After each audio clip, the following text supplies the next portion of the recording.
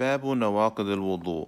اعلم وفقك الله أن نواقض الوضوء على قسمين أحداث وأسباب أحداث. فأما الأحداث فخمسة. ثلاثة من القبل وهي المذي والودي والبول. واثنان من الدبر وهما الغائط والريح. وأما أسباب الأحداث فالنوم وهو على أربعة أقسام. طويل ثقيل ينقض الوضوء قصير ثقيل ينقض الوضوء. أيضا قصير خفيف لا ينقض الوضوء طويل خفيف يستحب منه الوضوء.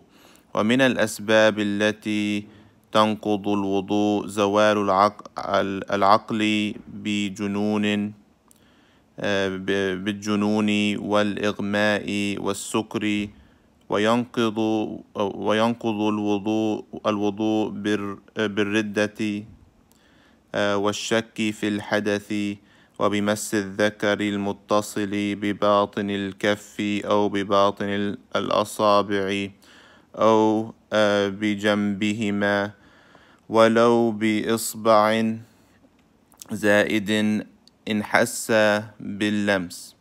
وهو على أربعة أقسام. إن قصد اللذة ووجدها فعليه الوضوء وإن وجدها ولم يقصدها فعليه الوضوء وإن قصدها ولم يجدها فعليه الوضوء وإن لم يقصد اللذة ولم يجدها فلا وضوء عليه ولا ين ولا ين ولا ينتقض الوضوء.